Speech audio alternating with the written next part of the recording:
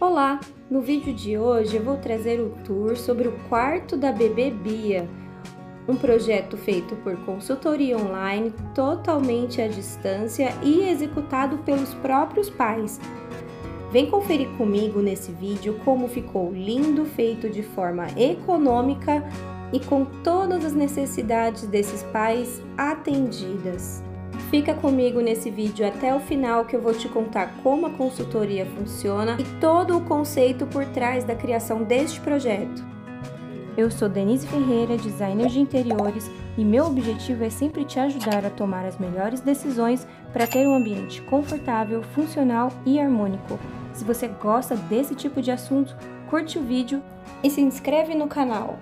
Vou começar o nosso vídeo trazendo um pouquinho de como era este ambiente antes da transformação para o quartinho de bebê. O quarto era praticamente um escritório onde não colocavam-se muitas coisas. O objetivo ali foi sempre transformar esse quarto na hora que o bebê chegasse. O projeto da casa toda não incluiu o quarto, então nós criamos o projeto do zero. Para consultoria online, além das imagens de como era o ambiente e as medidas, eu também peço umas imagens de referência, que são imagens significativas e que produzem sentido ao projeto. Nela consigo identificar quais elementos recorrentes existem e assim conseguir traduzir para uma imagem de projeto. Para esse projeto, tons neutros, decoração atemporal e aconchegante, com cores nos objetos de decoração, animais, natureza e detalhes abstratos. O estilo retrô estaria presente nos móveis, com o detalhe dos pezinhos palito. Descobrir o layout ideal foi bastante desafiador, já que o ambiente é bastante pequeno. A solução encontrada foi deixar o berço próximo à parede, logo após a cômoda trocador e, em seguida, a poltrona de amamentação. O tapete redondo lavável antialérgico fica no centro do ambiente para uma decoração, porém ainda mostrando o chão para não diminuir ainda mais esse ambiente, tendo uma quebra no campo visual. E por fim, a instalação de persiana romana, já que a cômoda trocador fica embaixo da janela, impedindo que a cortina vá até o chão. E para uma visão mais realista, eu apresento também os materiais que irão compor a decoração desse quarto, juntamente com os links onde encontrar para comprar esses materiais decorativos e as imagens em 3D de vários ângulos. O conceito desse projeto era trazer muita tranquilidade, aconchego e aquela sensação de não querer sair do quarto nunca.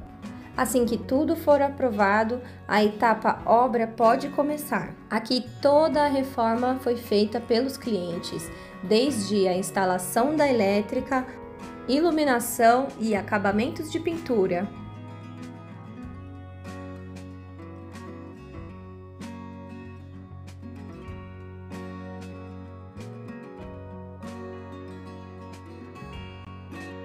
Pelo projeto aprovado, a iluminação central sai de cena e dá espaço para as iluminações laterais com spots pontuais. Com a elétrica e iluminação concluídas, o quarto já deu outra cara. A iluminação faz toda a diferença.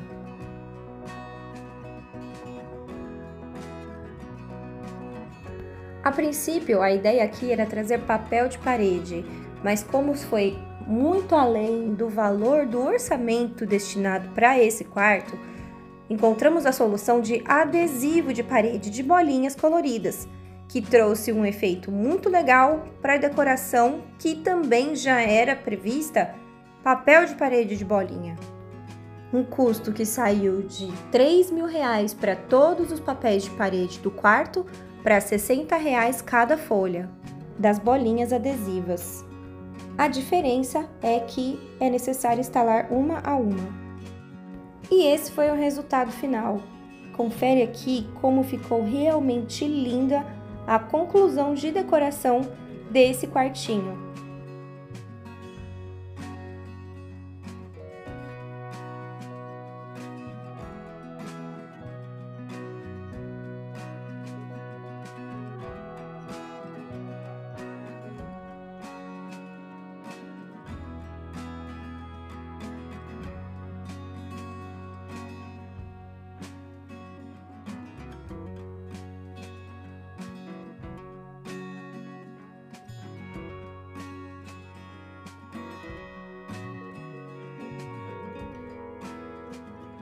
Se você está precisando de ajuda para decorar a sua casa e gostaria de uma consultoria como essa, os links para contato estão na legenda deste vídeo.